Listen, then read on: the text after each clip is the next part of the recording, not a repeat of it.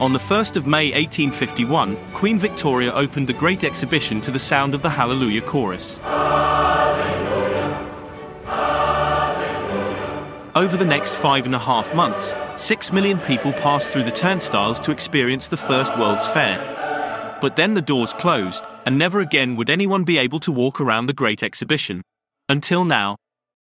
With a release date of the 27th of September 2024, 174 years after the first columns of the Crystal Palace were raised, Hooked Wit will be releasing the Great Exhibition in VR. Admire the transept with its arched roof enclosing three magnificent elm trees, and lined either side with sculptures, many of which are now lost. Examine the wonderful model of Gulliver in Lilliput from the town of Sonneberg in Germany. Be bemused by the Tempest Prognosticator, a barometer powered by leeches.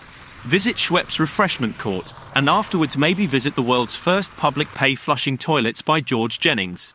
A great educational resource. A narrator will tell you about each exhibit. This magnificent organ is by Gray and Davison. After the Great Exhibition closed, this organ was purchased by St. Anne's Limehouse to replace their organ which had been lost in a fire in 1850. And it will be free, not just as an introductory offer, but always.